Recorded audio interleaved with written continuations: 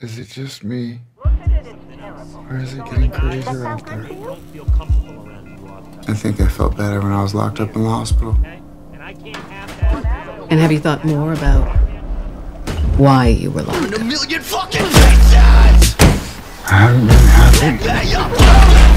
One minute I'm not terrified for life. I think I told you I should be clearing some of the comedy. No, you didn't. You know what's funny? I think I did. You know what really makes me laugh? I used to think that my life was a tragedy.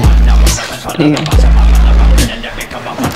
But now I realize it's a fucking I'm done.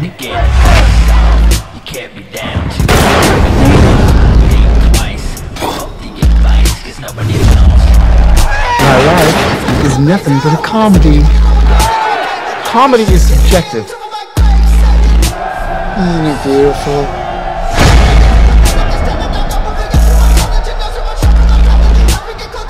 Society.